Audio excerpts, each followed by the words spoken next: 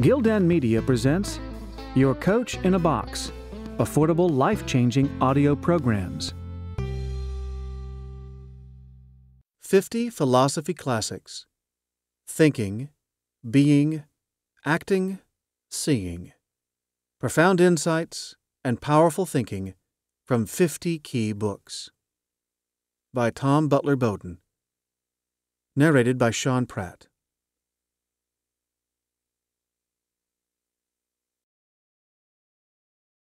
Introduction Philosophy is at once the most sublime and the most trivial of human pursuits. It works in the minutest crannies, and it opens out the widest vistas.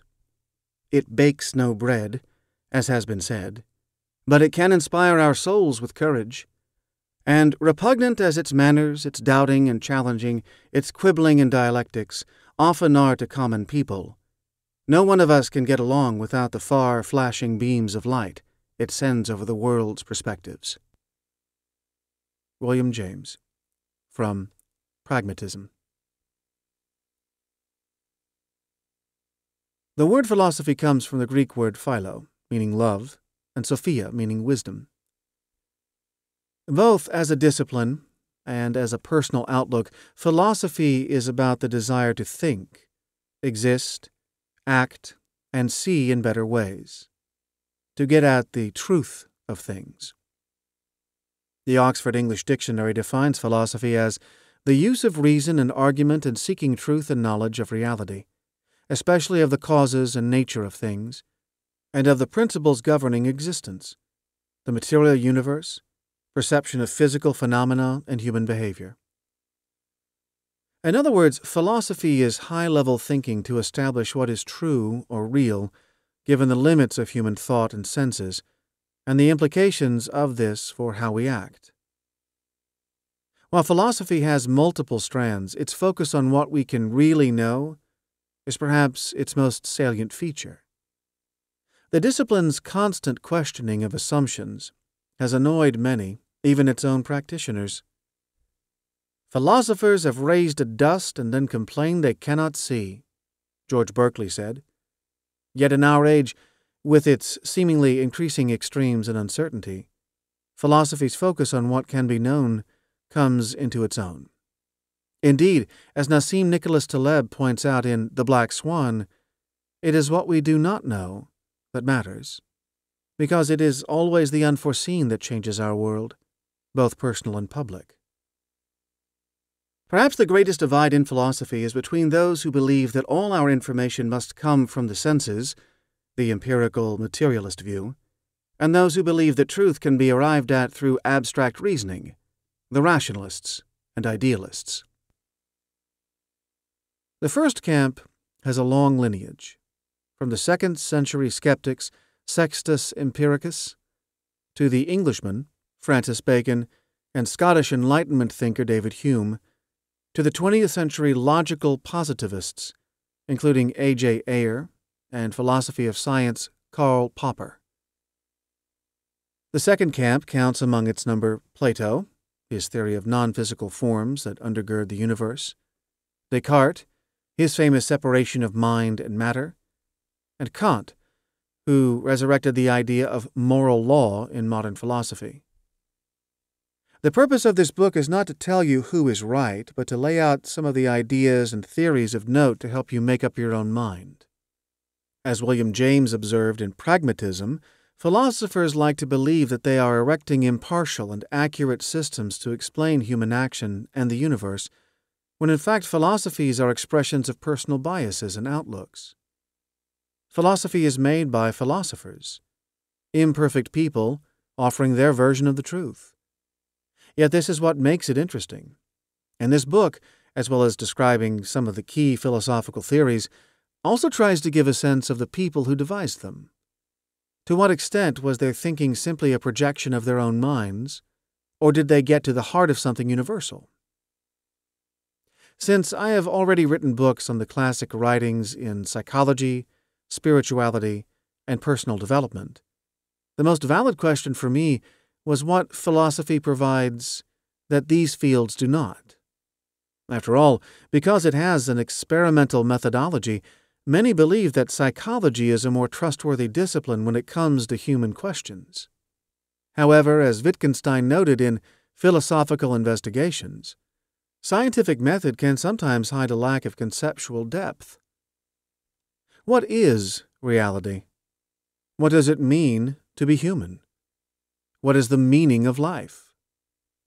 Philosophy is the only real meta discipline, Nietzsche claimed, made to consider the totality of things. While it might be said that theology and spirituality are designed for such questions, they lack the neutrality that is needed for a real discipline open to all comers. This is not to say that philosophy is scientific. Bertrand Russell noted that it is the business of science to know more facts, while the work of philosophy is to establish valid conceptions and laws through which science can be seen. Rather than science enveloping philosophy, a belief of the physicist Stephen Hawking, it is philosophy that can help put raw data and scientific theories into a larger context. Science is, after all, a very human project, and if it is the attempt to make our theories fit nature, then it is human nature with which we first have to contend. To know what we are looking at, we must be aware of the lens through which we view it, that is, how we see the world. We know, for instance, that the old Newtonian perspective on the universe, with its focus on matter, no longer copes with the strange, fluid reality that quantum physics suggests. Philosophy is well equipped to look at these uncertainties because of its focus on objectivity and consciousness itself. The 20th century particle physicist David Bohm had to turn to philosophy to explain the movement of electrons under his microscope. It was not possible to construe the world in terms of mind looking at matter, he concluded. Rather, consciousness is at least as important an element in the working of the universe as is matter itself. In this book, I look at these and other fascinating matters in more depth. In addition to the primary meaning given previously, the Oxford English Dictionary defines philosophy as a personal rule of life. We all have such a philosophy, and it shapes everything we do. Our larger outlook on the world is usually the most interesting and important thing about us, expressing our more or less dumb sense of what life honestly and deeply means, as William James wrote in Pragmatism. Far from being the preserve of lofty professors, our philosophy is practical. We could barely operate without one. As G. K. Chesterton wrote, For a landlady considering a lodger, it is important to know his income, but still more important to know his philosophy. For a general about to fight an enemy, it is important to know the enemy's numbers, but still more important to know the enemy's philosophy. The question is not whether the theory of the cosmos affects matters, but whether in the long run anything else affects them. There is, of course, a difference between a personal philosophy and philosophy as a discipline. This book seeks to bridge the two. It is not about what a particular philosophy says or means in isolation, but what it may mean to me or you whether it can increase the quality of our lives, guide our actions in the world, or shed light on our place in the universe. Whether it is Aristotle or Epicurus providing recipes for a fulfilled and happy life, or Plato outlining the ideal society, the ideas of these ancient thinkers remain powerful, if only because in over 2,000 years humans have not changed much. Philosophy is resurgent because the big questions never go away, and it provides ready made concepts for addressing them. The brilliance of philosophy is that despite its lack of objectivity, it still has the power to send far flashing beams of light over the world, allowing us to see things anew. Not only does philosophy give us a framework for seeing all other knowledge, on a more personal and exciting level, it offers us fresh and often liberating ways of thinking being, acting, and seeing. Thinking. The limits of our knowledge, the sense of self. Philosophy is first about how to think, and given the human propensity to get things wrong, This often means questioning the bases of our knowledge. Descartes went to some lengths to show how easily the mind could be misled by data from the senses, and from this wondered how anything could be said truly to exist. Yet from this position of extreme doubt, he made his breakthrough. Surely, if he had the ability to be deceived in his thinking, there had to be an I that was experiencing the deception. He wrote, I thereby concluded that I was a substance of which the whole essence or nature consists in thinking, and which, in order to exist, needs no place and depends on no material thing. If we are constantly deceived about what we perceive to be fact, it cannot be doubted that we perceive. We are, first and foremost, thinking things. Consciousness is our essence, and what we are conscious of the most is ourselves what we are thinking, how we are doing, what we will do next, what we know. As Descartes put it, I am thinking, therefore I am. David Hume and John Locke believed that the only knowledge we could trust was that derived directly from our senses. And Hume took this a step further by suggesting that human beings are simply a bundle of thoughts, impressions, and feelings, which, at any one time provide a sense of being an I, even if that identity lacks a solid core. Far from possessing an immortal soul, we are more like a constantly moving banquet of experiences and perceptions, and therefore certainty and knowledge remain elusive. Contemporary philosopher Julian Baggini supports Hume's bundle theory, drawing on neuroscience to show that our sense of self cannot be located in any particular part of our brain or nervous system. Rather, many parts work together to create the feeling of an autonomous, free willing self. This may be a grand ego trick or an illusion, but it makes life manageable. Philosophy is associated with the quest for self knowledge, but Iris Murdoch is another who has questioned the idea that there is some eternal core to us that we must be on a mission to reveal. She writes in The Sovereignty of Good Self knowledge, in the sense of a minute understanding of one's own machinery, seems to me, except at a fairly simple level, usually a delusion. Self is as hard to see justly as other things. And when clear vision has been achieved, self is a correspondingly smaller, and less interesting object. On the other hand, Murdoch says this lack of self solidity should not stop us making efforts to improve ourselves. It is natural and right for us to strive to be perfect, even if we are beset by deficiencies and perception and lack of courage. In his essays, Michel de Montaigne provided a forensic examination of the self using his own prejudices and weaknesses as the subject matter, and came to the conclusion that the self is a mystery. Human knowledge is limited to such an extent that we barely know anything about ourselves, let alone the world at large. We are continually thinking, but rather than the rational beings we suppose ourselves to be, we are a mass of prejudices, quirks, and vanities. Human fallibility is a rich vein to tap, and some recent writings give special insights into this area. Daniel Kahneman won a Nobel Prize for his work into the biases and mistakes we make in everyday thinking. In Thinking Fast and Slow, he argues that we are a machine for jumping to conclusions, wired more to keep alive and respond to threats than to perceive accurately. Nassim Nicholas Taleb also takes up this theme, noting that we believe we understand more of what's going on in the world than we actually do we often wrongly ascribe meaning to events after they've happened, creating a story. And we overvalue facts, statistics, and categories which make us feel comfortable that we can predict the future. Our shock at unexpected events shows how illusory is this feeling that we are in control. And yet we wouldn't attempt half the things we do if we had a more accurate picture of what we can achieve in a certain time frame. Seen this way, Error is not a defect of the human condition, but part of its eventual glory. Indeed, as Kahneman notes, the focus on human errors does not denigrate human intelligence, any more than the attention to diseases in medical texts denies good health. Most of us are healthy most of the time, and most of our judgments and actions are appropriate most of the time.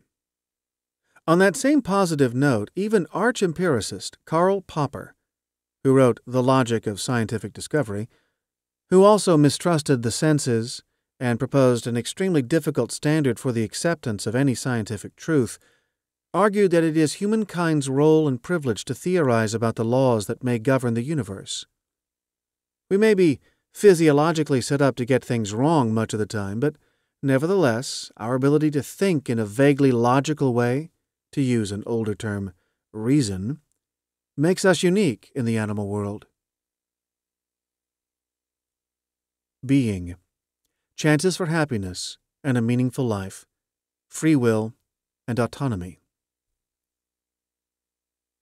Philosophers since ancient times have suggested that happiness results from moving away from the self, either throwing ourselves into causes or work important to us, or loosening the bands of the ego through appreciating nature, through love, or via spiritual practice. For Epicurus, virtue made for a pleasant and happy life, because doing the right thing naturally puts our mind at rest. Instead of being anguished about the consequences of our bad actions, we are liberated to enjoy a simple life of friends, philosophy, nature, and small comforts. Aristotle believed that happiness comes from expressing what we have rationally decided is good for us over the long term, such as service to the community, Everything in nature is built with an end or purpose in mind, and what is unique to humans is the ability to act according to our reason and pre selected virtues. A happy person is one who is stable through their cultivation of virtue, who makes the vagaries of fortune irrelevant. Activities in accord with virtue control happiness, Aristotle said. Happiness is therefore not pleasure, but a byproduct of a meaningful life, and meaning tends to come from striving and self discipline. Bertrand Russell noted almost the same in his very personal The Conquest of Happiness. Effort, even more than actual success, he wrote, is an essential ingredient of happiness. A person who is able to gratify all whims without effort feels that attainment of desires does not make for happiness. A focus on the self is a cause of unhappiness, while joy comes from directing our interests outward, throwing ourselves into life. Leibniz was parodied by Voltaire for suggesting that the world we live in is the best of all possible worlds, but his real point was more subtle. The best possible world is not the one specifically designed for human happiness. Human beings are driven by self interest and are not aware of the good result of everything that happens. We see matters in terms of cause and effect, but our appreciation of the relationship between them is naturally limited. Only a supreme being has the overview of how everything knits together, Leibniz argued, and our role is to trust in this benevolence of intention. The world we live in is the best possible world, he famously said, even if it appears to contain a great deal of evil, because an imperfection in the part may be required for a greater perfection in the whole. But what if you believe, as the existentialists did, that the universe has no purpose or meaning? Sartre's answer was to live authentically, choosing your own destiny instead of blindly accepting society's rules or the morals of the day. He wrote, Man is condemned to be free, because once thrown into the world, he is responsible for everything he does.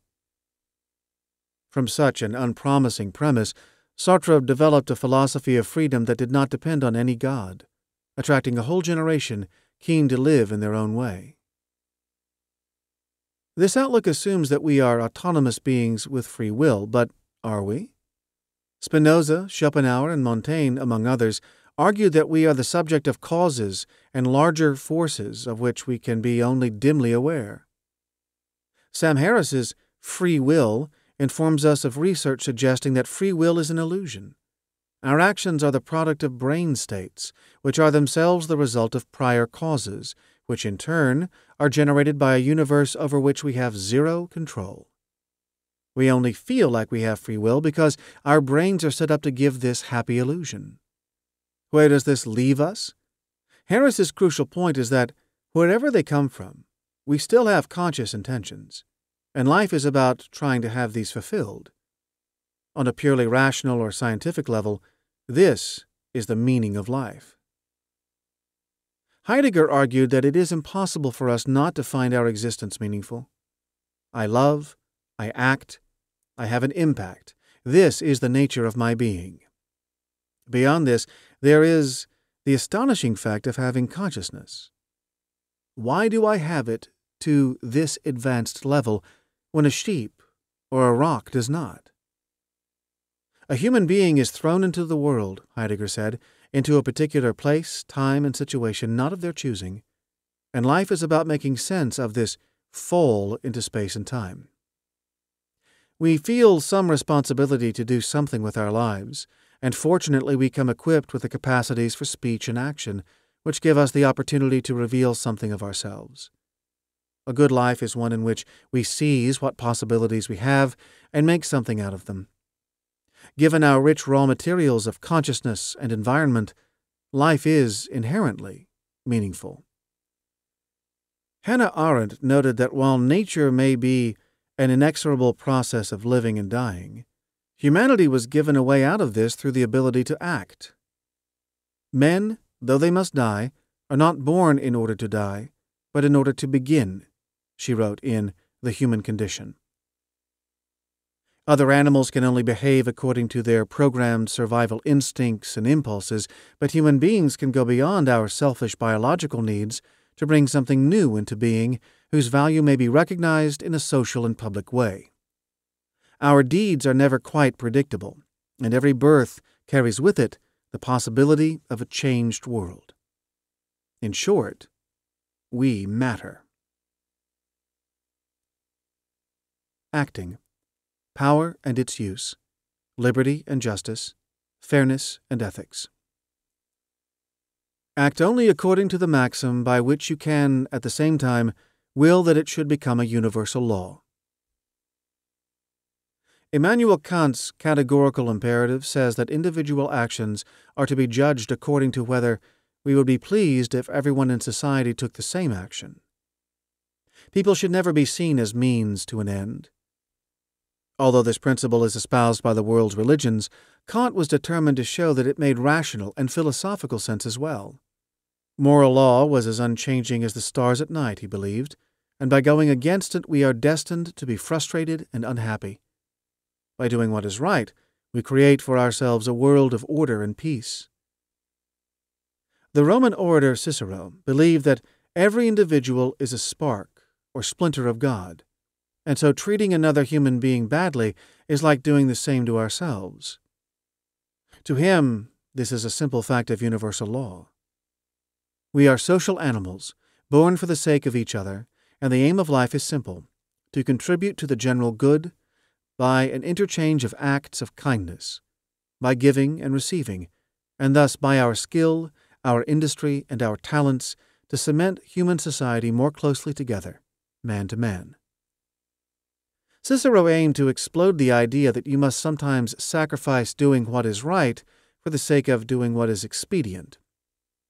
Doing what is right, he wrote in On Duties, is always what is expedient. Plato believed that doing the right thing is its own reward, since it brings the three parts of our soul reason, spirit, and desire into harmony. Acting justly is not an optional extra, but the axis around which human existence must turn. Life is meaningless if it lacks well intentioned action. And while justice is an absolute necessity for the individual, it is also the central plank of a good state which he outlines in The Republic. A few centuries earlier, in China, Confucius said much the same, noting that although we are born human, we become a person through fulfilling responsible roles in society in a selfless way. The wise person loves virtue more than anything, and will always seek the best outcome for everyone without self calculation. We are, after all, just one link in a chain of being that stretches into the past and future. In The Life You Can Save, contemporary philosopher Pete Singer quotes Epicurus It is impossible to live the pleasant life without also living sensibly, nobly, and justly. The good life is not merely good health, property, new cars, and holidays, but thinking and acting on what can be done to make the world more just. Singer's rationale for personal giving to end world poverty is a reminder of how powerful philosophy can be for the real world. This utilitarian outlook can be traced back to Jeremy Bentham in the 18th century. Bentham spent a lifetime promoting his principle of the greatest happiness of the greatest number. His wish was to legislate happiness into being, a radical idea because in his time Britain's laws were more aimed to protect established interests rather than to bring about the greatest benefit for all. In this, Bentham faced an uphill battle, yet he was passionate in his belief that utilitarianism was the best hope for a fair and civilized society. In his landmark, A Theory of Justice, John Rawls asks us to imagine that everyone in a society has lost their memory about their place and status, and then to configure a new society based on giving maximum opportunity for everyone to flourish. Given that in the lottery of life we can be born a pauper as much as a king, would we not go out of our way to ensure that everyone at least had an equal opportunity to succeed? Where there is inequality of wealth or status, it should have arisen only where there has been full access to compete for such resources or prizes in the first place. No sacrifices need to be made to some greater good, as in utilitarianism, and people will accept inequalities of wealth and status so long as they know that they or their children have an equal chance at achieving these aims themselves. Rawls's philosophy is in the same tradition as Rousseau, who believe that a free society raises up and ennobles its citizens, but also entails responsibilities and a willingness to give up some personal liberty for the needs of the whole. John Stuart Mill's timeless rationale for individual freedom, on liberty, contained his famous non harm criterion for ensuring freedom. The only purpose for which power can be rightfully exercised over any member of a civilized community against his will is to prevent harm to others. A government should not impose a law just because it is considered to be for people's own good. Rather, unless a citizen's action is shown to be demonstrably bad for others, it should be allowed. Mill noted the tendency for government power to increase and individual freedoms to be eroded unless this is monitored and held in check. Yet this fact and its warning of government creep did not mean that governments had no legitimacy at all. What, then, is the correct balance between personal freedom and the need for state control? Mill described this as a question of the future, and indeed we still grapple with it now. As Plato argued in the Republic, we should be happy to live with some restricted freedoms and accept our place in society, given the alternatives of exile or life beyond laws. The problem, as Machiavelli pointed out with brutal honesty in The Prince, is that the average citizen simply does not appreciate what it takes to keep a powerful state going, and can continue to live a moral life while the rulers have to take dirty decisions. Seen long as an inspiration for tyrants, the prince, in fact, lays out a reasoned defense for the exertion of power. It is not for the self aggrandizement of the ruler, but rather for the strength of the state. And a strong state is desirable because it allows people to flourish and prosper. With this just end in mind, unpleasant means can sometimes be justified. Noam Chomsky, a perennial thorn in the side of Western liberal complacency, takes a similarly dark view of power. Most contemporary states, he believes, are set up to serve the interests of power, and the real enemy of those in power is their own population. Most wars are designed to take attention away from the domestic situation. Although Chomsky's focus has been on the United States, his message is that the corrupting nature of power is universal, and yet he notes causes for optimism. It is less acceptable now to treat people as objects or means to an end. Slavery was considered a fine thing not long ago, he writes. And even if power structures only pay lip service to freedom, self determination, and human rights, At least these are acknowledged as ideals. Perhaps the last word on morality and power should go to Iris Murdoch, who argues in The Sovereignty of Good that if we seek the good first, everything else worthwhile will come to us naturally.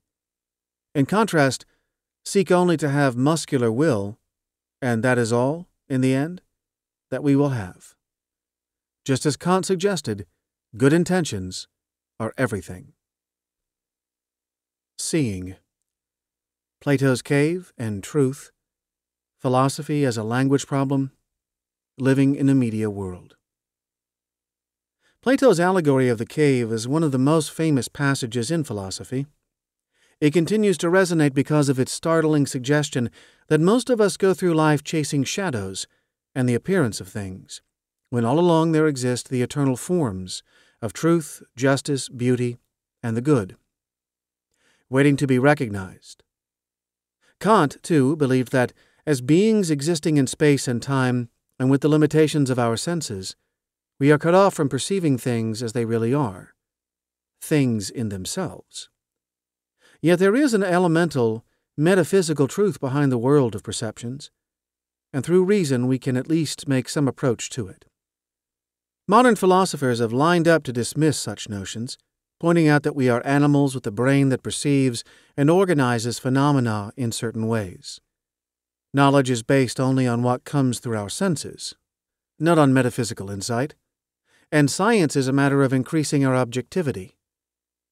Hegel, however, argued that objective analysis is an illusion, because things only exist in the context of the observer's perception of them.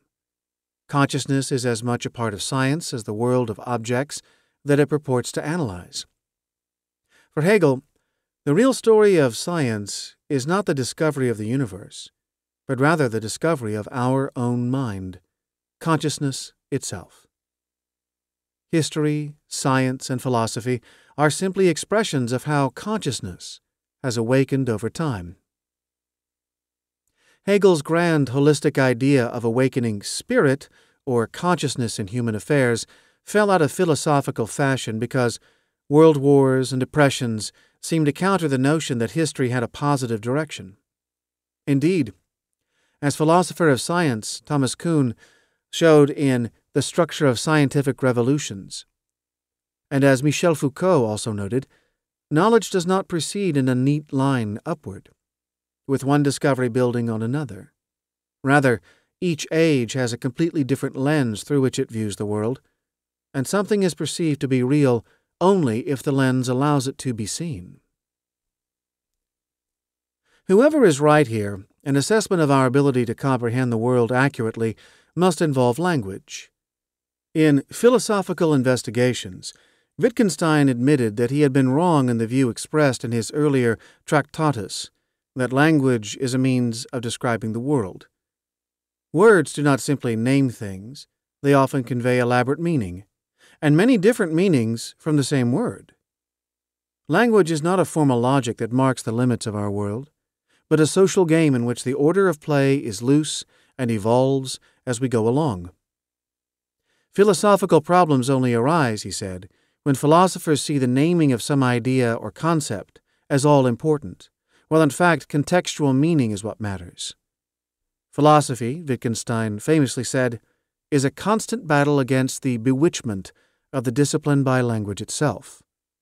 This was a dig at the analytical tradition of philosophy, whose adherents included Bertrand Russell and A.J. Ayer, which saw the misuse of language as a welcome mat for so much meaningless metaphysics, whereas its good use could give us a more accurate picture of reality.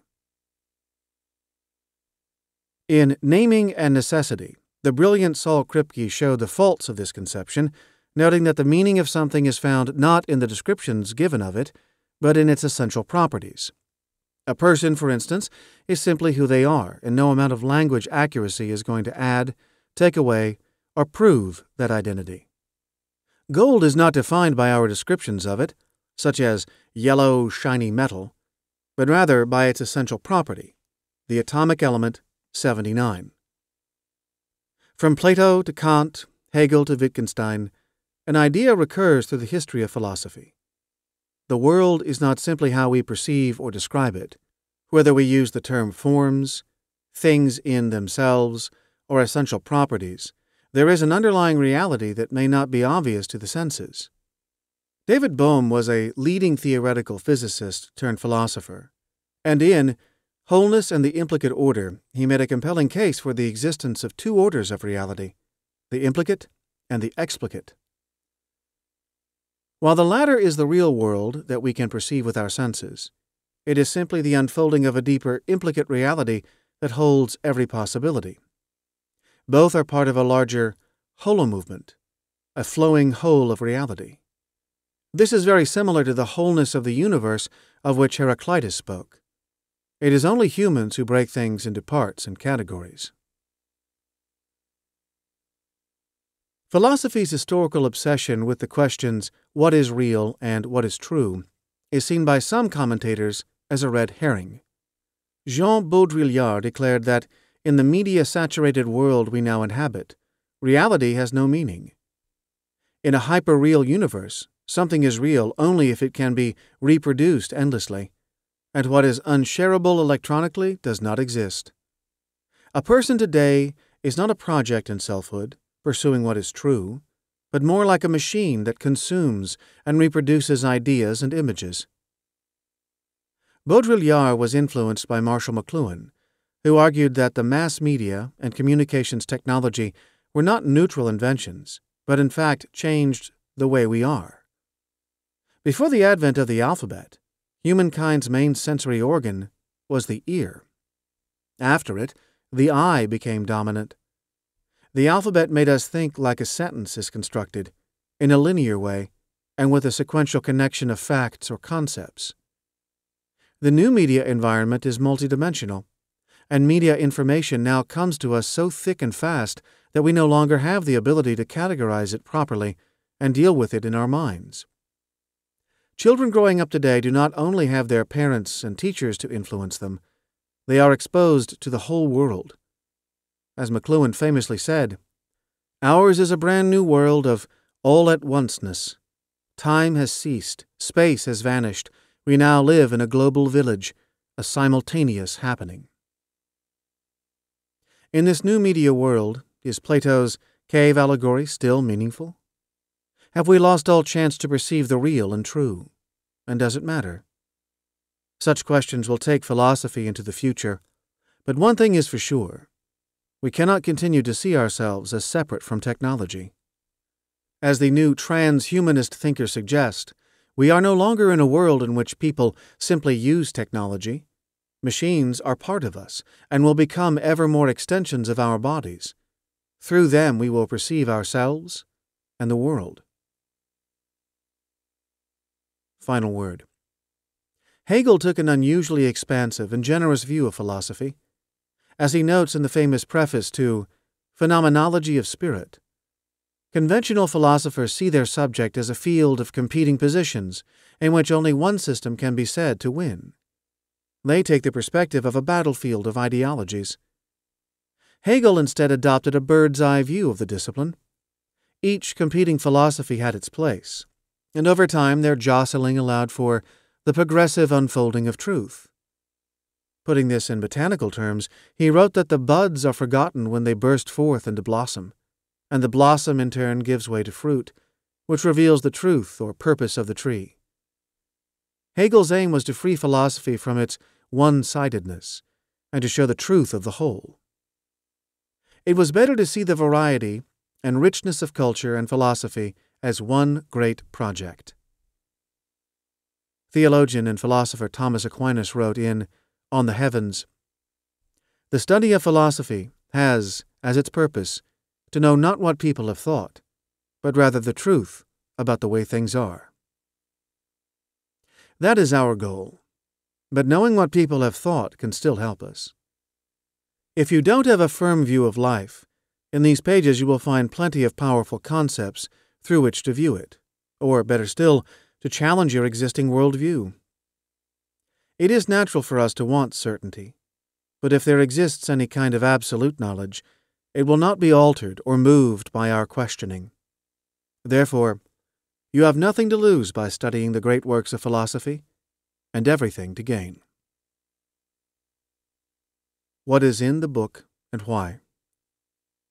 The list of 50 titles does not claim to be definitive, only to give a sense of some of the key writings in Western philosophy, ancient and modern, with a hint of the East as well. While I would love to have included philosophers from every part of the world and every era, this book is at least a taste of what is a vast literature. The focus is less on the usual categorization of philosophical schools, periods, ologies, and isms that is the norm in introductory or academic texts. This is a layperson's guide to philosophy. You are not being trained in anything, only, it is hoped, enlightened.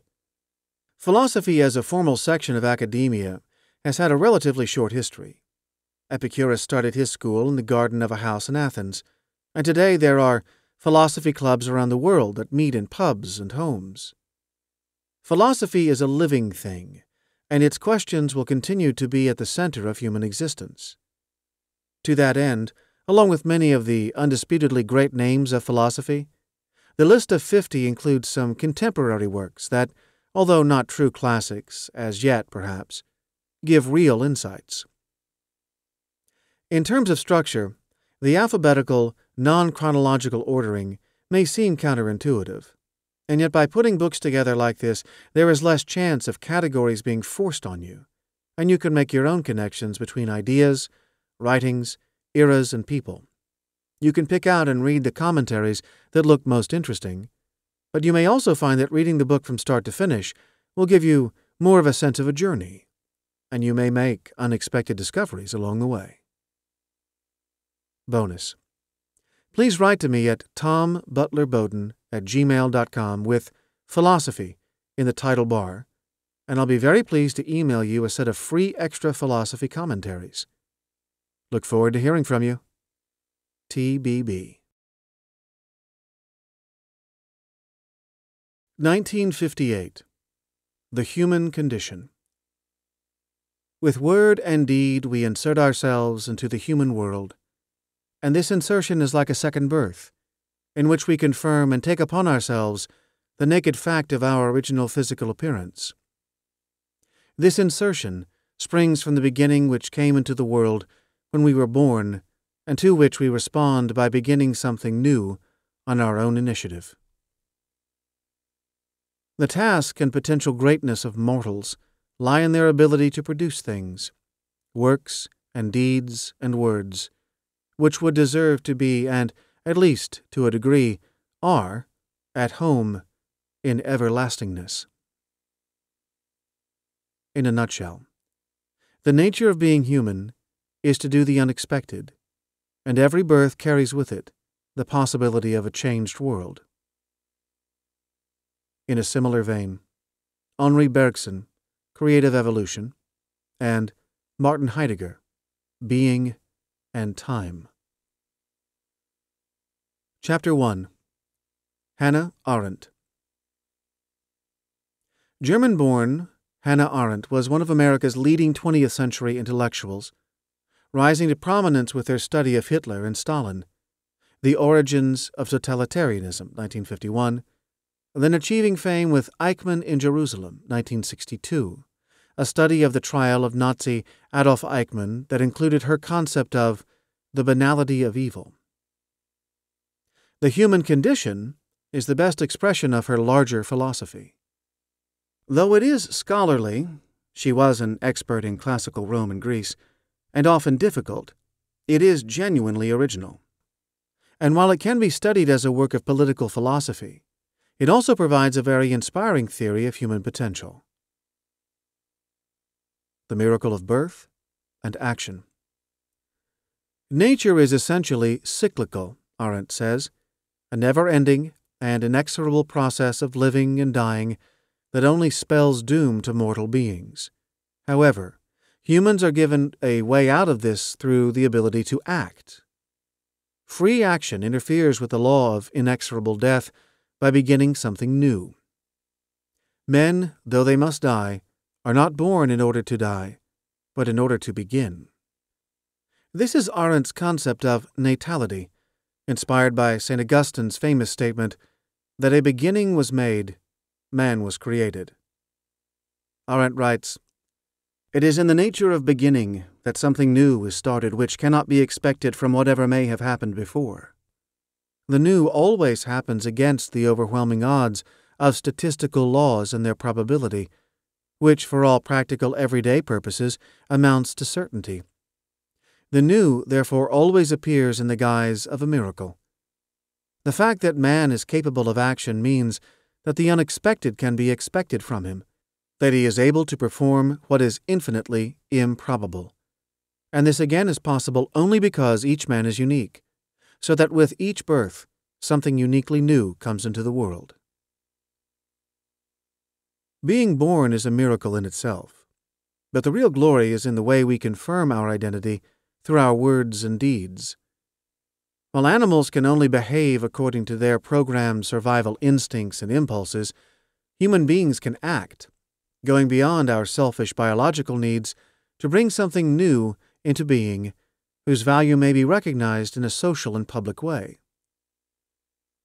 Like Socrates drinking hemlock by his choice, or someone who gives their life for another, we can even act against our very survival instinct. And because of this ability to make truly free decisions, our deeds are never quite predictable.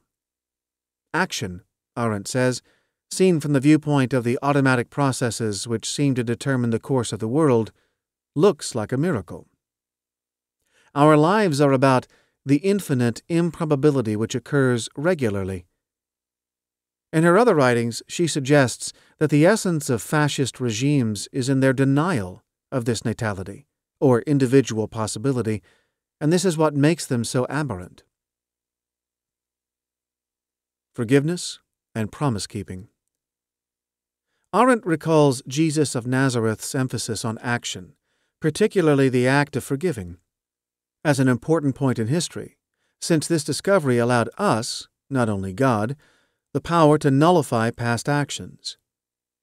This power Jesus put almost on the level of physical miracles, given its ability to transform worldly situations. Arendt writes Only through this constant mutual release from what they do can men remain free agents. Only by constant willingness to change their minds and start again can they be trusted with so great a power as that to begin something new. Whereas the wish for vengeance is automatic and thus a predictable action, the act of forgiving, because it seems to go against natural reactions, can never be predicted. Forgiveness has the character of real, thought out action, and in this respect is more human than the animalistic reaction of revenge, because it frees both the forgiver and the forgiven. Action of this type is the only thing that prevents human lives from hurtling from birth to death without real meaning. Arendt agrees with Nietzsche that what also marks out humans from other animals is the ability to make promises and keep them. Our basic unreliability is the price we pay for our freedom, but we have devised ways of keeping promises real, from social custom to legal contracts. The acts of forgiveness and promise keeping redeem humankind, and take us to a new level. They are also creative actions that confirm our uniqueness. In the way these actions are expressed, nobody is ever the same as anyone else who ever lived, lives, or will live. Labor, work, and action. Arendt delineates the three basic human activities of labor, work, and action. Labor is the activity of living, growing, and eventual decay that all humans experience. Basically, staying alive. The human condition of labor is life itself, she says. Work is the unnatural activity that humans perform within a natural world, which can transcend or outlast this world, giving a measure of permanence and durability upon the futility of mortal life and the fleeting character of human time and action is the only activity that does not require things or matter, and therefore is the essence of being human. Action also transcends the natural world because men, not man, live on the earth and inhabit the world. By this, Arendt means that human beings are communal, political animals who seek to do things that are recognized by others. Rediscovering Glory. In ancient Greece and Rome, Arendt notes, what mattered was what you did in the public realm. The lives and prospects of poor people and those without political rights, including slaves and women, were essentially carried out in the home. This private domain, whatever its benefits, brought with it no prospect of influence or real action. In contrast, men of means, free of the need to labor to survive and of the daily grind of the household, could be actors on the public stage, taking action to better or advance the whole of society. In our time, she observes, it is the home that has become the focal point, and we have been reduced to consumers with little stomach for politics.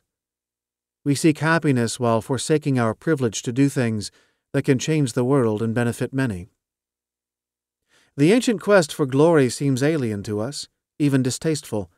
Yet, in reverting to being mere householders, we are giving up our potential to have lives of truly autonomous action, what she calls the vita activa.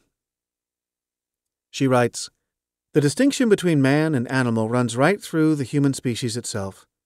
Only the best, Aristoi, who constantly prove themselves to be the best, and who prefer immortal fame to mortal things, are really human. The others, content with whatever pleasures nature will yield them, live and die like animals. Through love is our glory revealed. Humans can know everything there is to know about the natural world, or the world of objects, but will always fall short of knowing themselves, jumping over our own shadows, as Arendt calls it. What we are is our body, she notes, but who we are is disclosed in our words and deeds. We come to know who a person is not by being for or against them, but simply by spending time with them.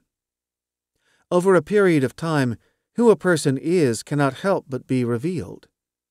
Thus, people live together not merely for emotional or material support, but in the sheer pleasure of seeing other people reveal their character.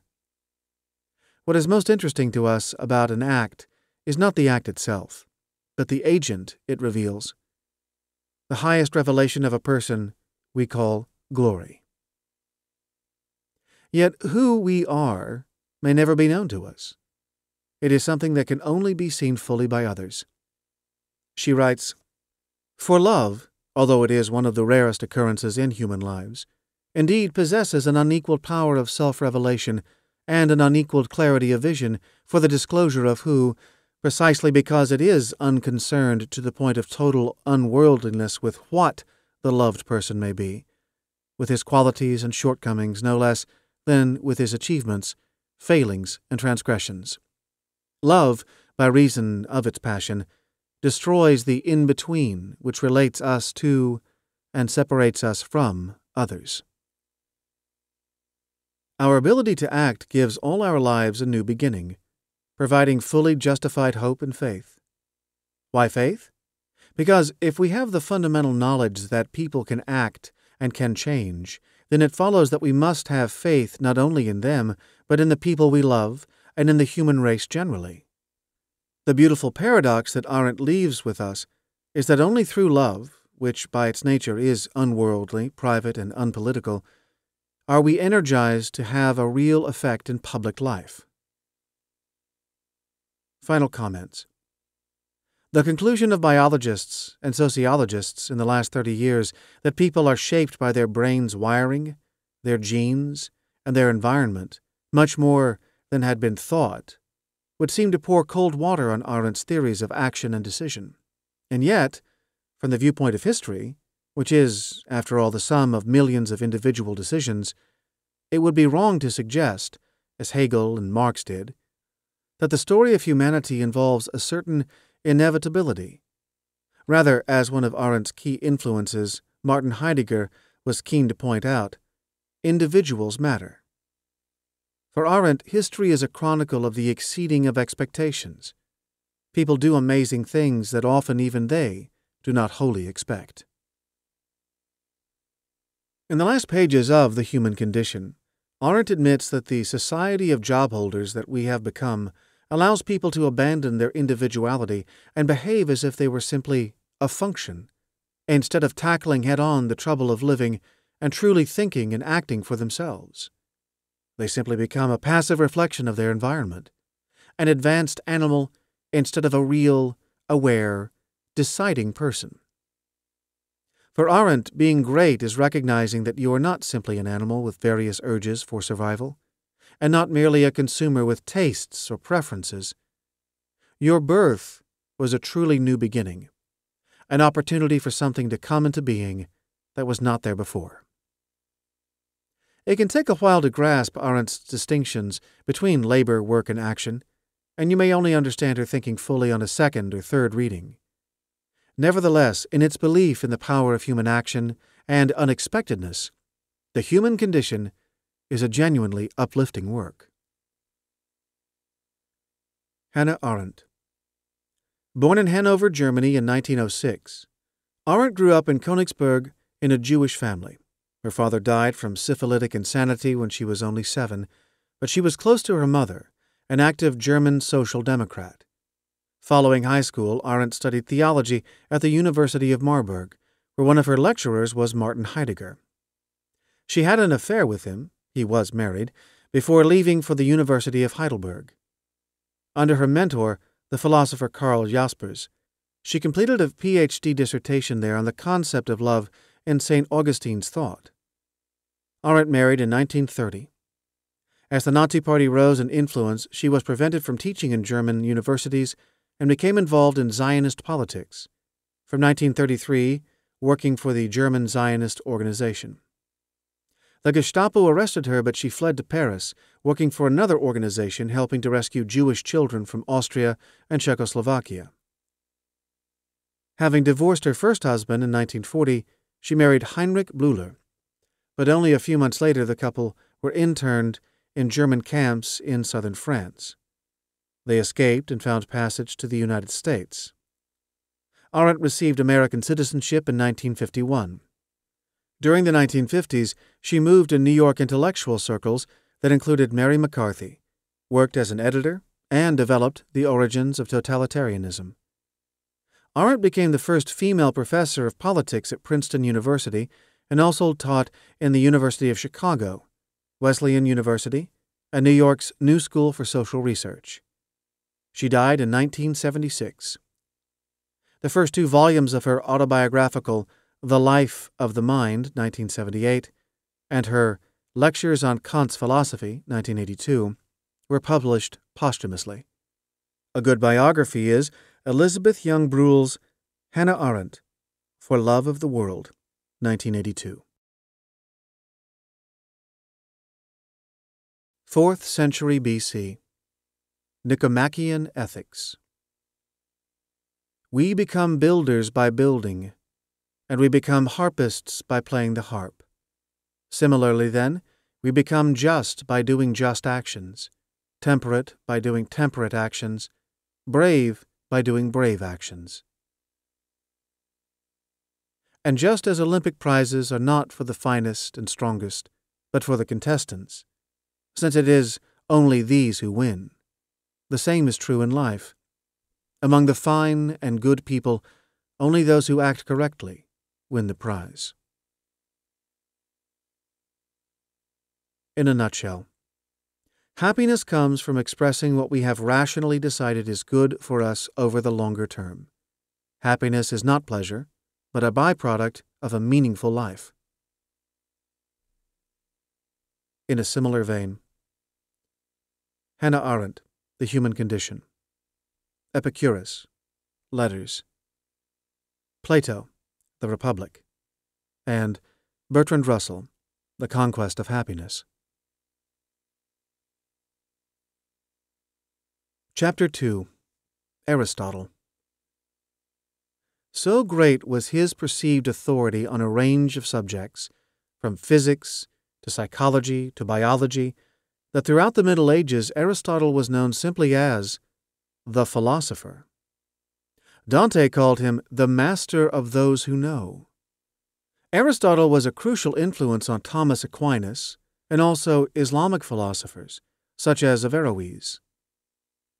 Aristotle's rigor and relentless quest to categorize everything have had a massive impact on philosophical and scientific thinking over the last 2,000 years, instituting a very rational, right brain way of seeing that is the essence of Western civilization. It is often said that the history of philosophy can be divided between Platonists and Aristotelians. While Plato believed that everything we perceive in the physical world has an underlying metaphysical reality, and that truth lies behind or beyond the world of appearances, his student, Aristotle, was much more of a nuts and bolts philosopher, interested in the world as we see it. After studying under Plato for 20 years, Aristotle came to the view that our understanding of the world is necessarily based on our five senses. His rigorous and analytical mind broke things down to their component parts, including ostensibly vague elements such as happiness and virtue.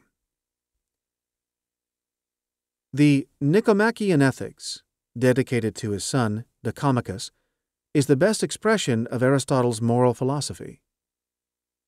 His scientific works are now mainly of interest to scholars, but the Nicomachean Ethics continues to be influential, providing a recipe for the good life that is still discussed and applied today. His concept of eudaimonia, loosely meaning happiness, for instance, has shaped the contemporary positive psychology movement. Though the work was compiled from lecture notes and so seems somewhat incomplete and unpolished, it can be read without great difficulty. What is our function? As distinct from Plato's concept of form, which indicates the reality underlying things, Aristotle's use of form refers simply to their order or structure. To understand what an object is, whether it is a chair or a person, you have to know its function. We do not appreciate a boat, for instance, as pieces of joined up wood, but as something that can carry us across water. Aristotle's final cause says that everything in nature is built with an end or purpose in mind.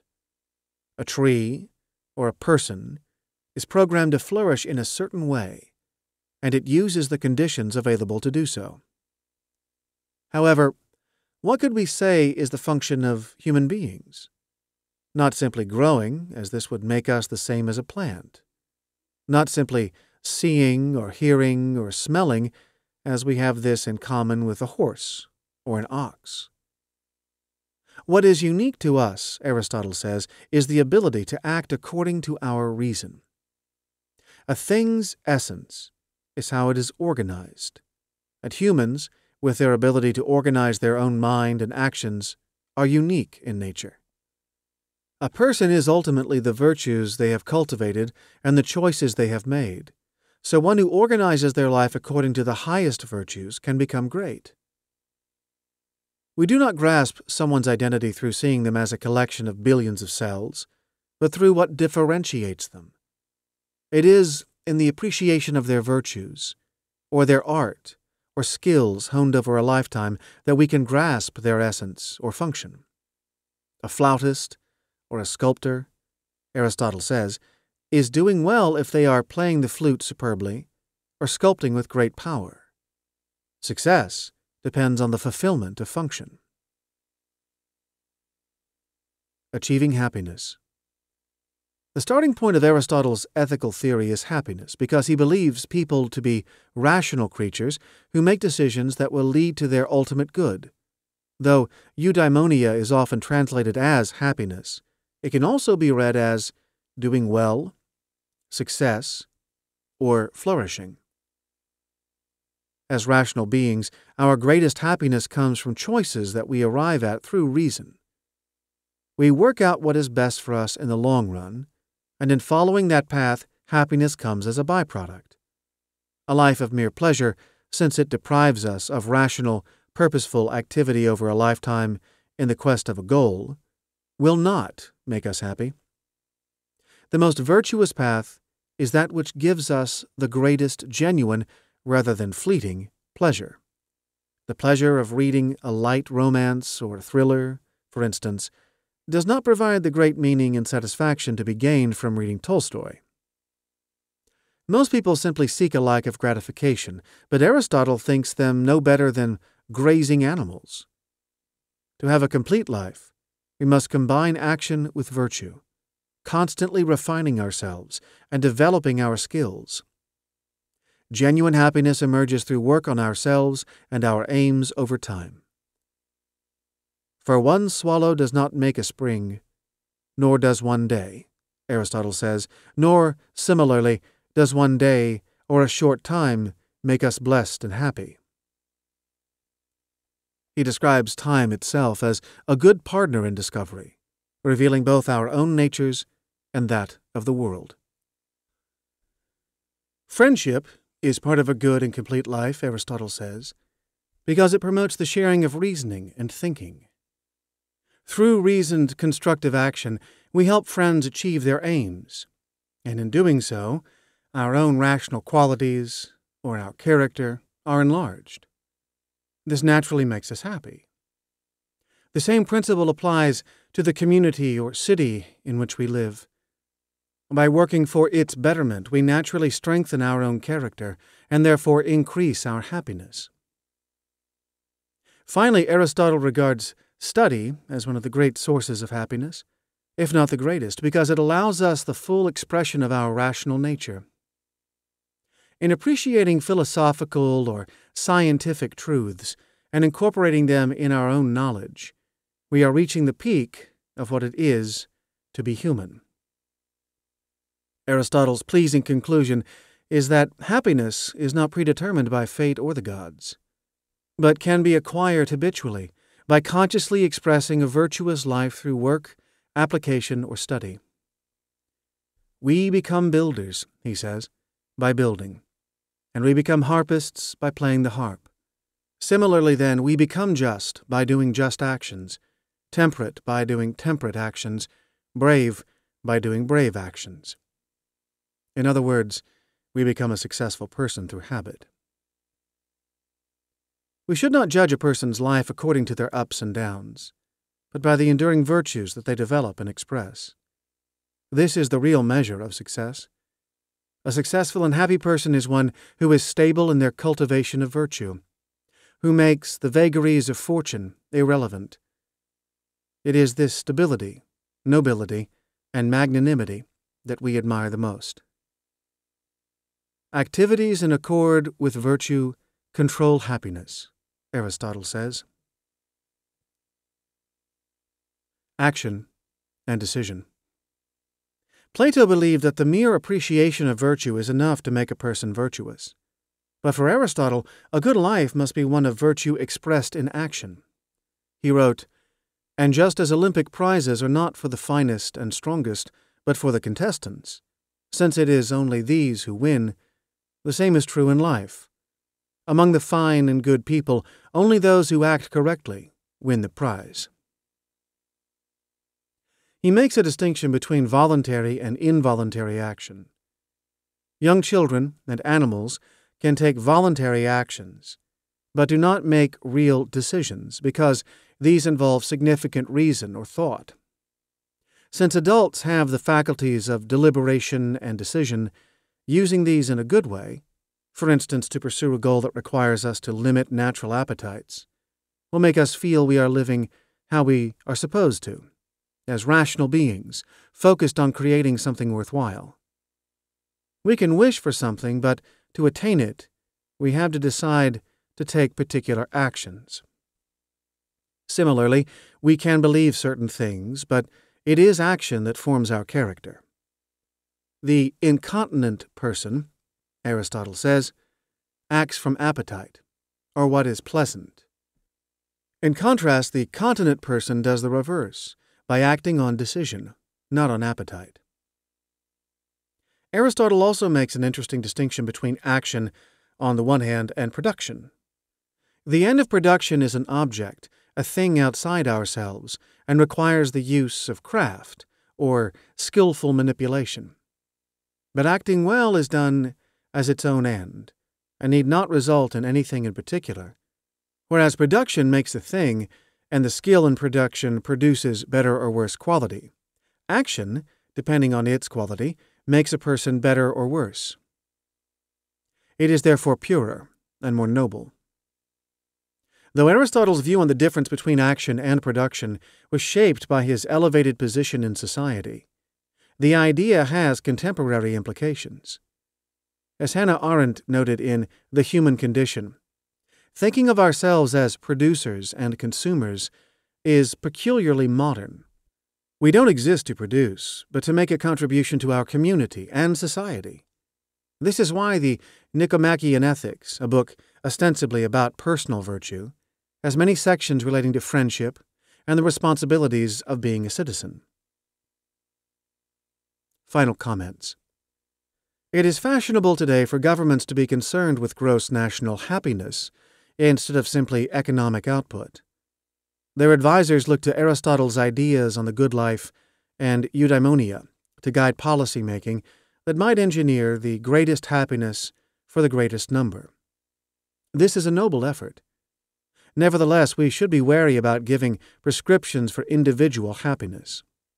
As Aristotle taught, every person will have a different route to the good life based on a unique potential that is theirs to fulfill. Rather than seeking happiness as a goal in itself, our challenge is to pursue the life most full of meaning for us, and in doing so, happiness will naturally follow. Aristotle is often criticized for his remarks in the Nicomachean Ethics that circumstantial elements such as money, status, and family are important contributors to happiness. However, his focus on the meaningful life tells us that one does not need to have these things in order to be content or excited about life. If we feel that we are acting to fulfill our highest function, it is difficult not to be happy. Aristotle. Born in the Macedonian city of Stagira, now northern Greece, in 384 BC, Aristotle was the son of a doctor to the king of Macedonia.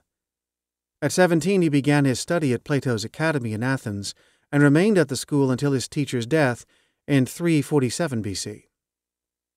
He then traveled to Turkey and the Greek island of Lesbos, doing his own research into what we now call marine biology, botany, zoology, geography, and geology.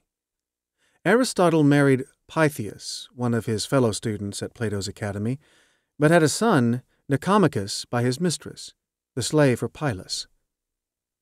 During Aristotle's lifetime, the Macedonian kingdom under Philip and his son Alexander the Great, was a conquering power, taking over Greek cities and the kingdom of Persia. Aristotle enjoyed the patronage of Alexander the Great and was his close adviser until the last years of the emperor's reign, before he fell out of favor because of his Macedonian origins. He died on the island of Euboea, aged 62. Two thirds of Aristotle's work is lost but his corpus covers a vast array of subjects, and he was considered the foremost polymath of his generation. Notable works include Metaphysica, On Interpretation, De Anima, or On the Soul, Ars Rhetorica, and Magna Moralia. 1936. Language, Truth, and Logic. Philosophy as it is written, is full of questions, which seem to be factual but are not. If now I say, stealing money is wrong, I produce a sentence which has no factual meaning, that is, it expresses no proposition which can be either true or false.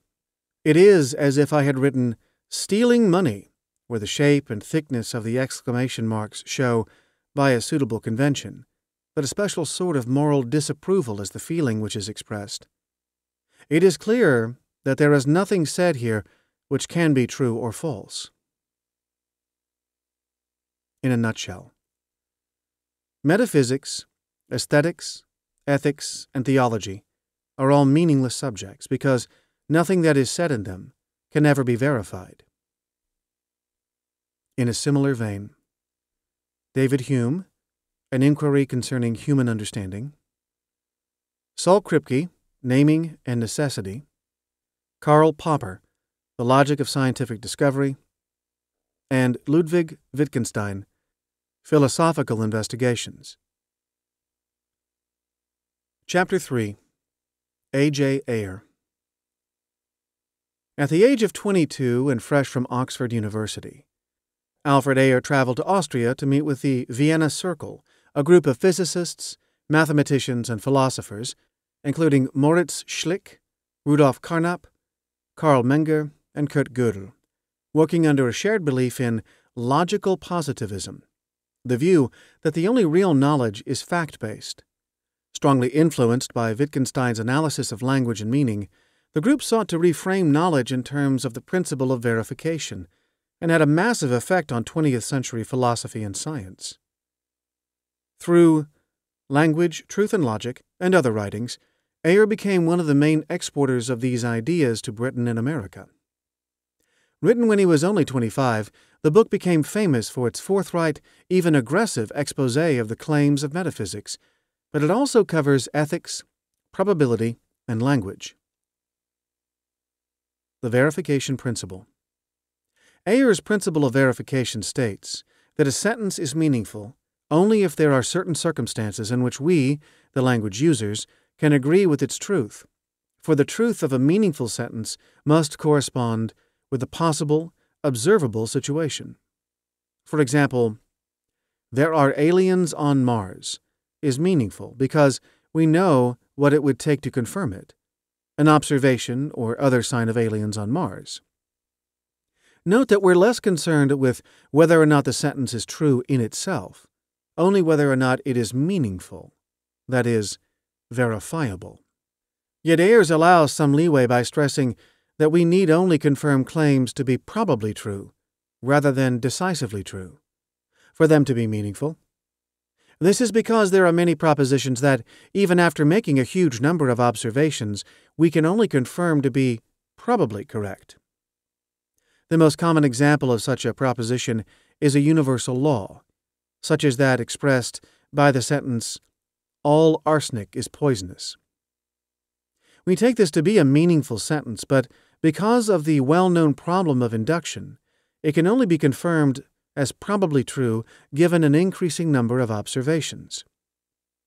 No number of observations could confirm that all arsenic is poisonous, as we cannot extrapolate with more than probable certainty from any particular examples to the general case.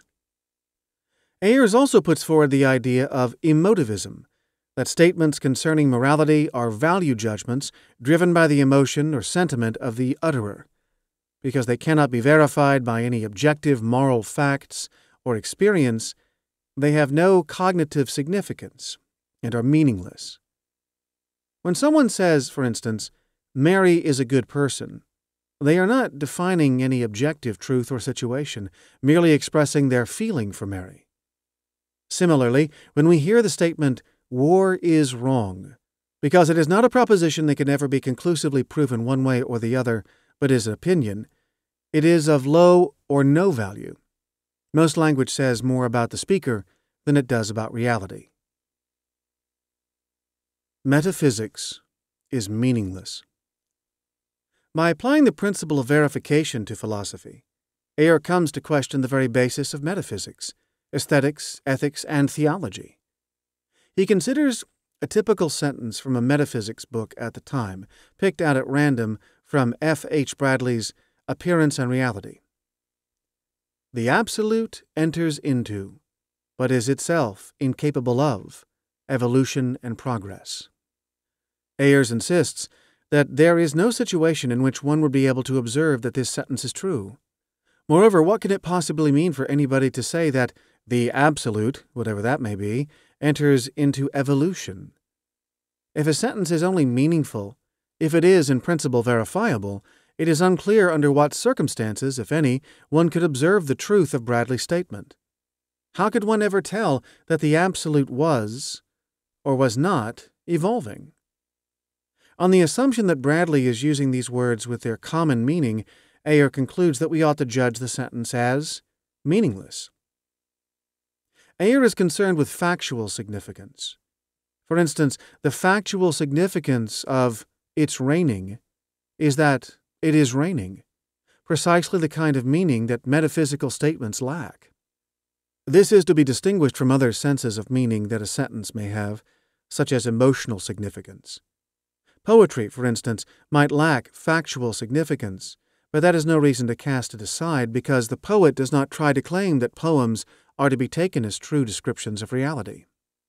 Their literal meaning is not what is generally celebrated.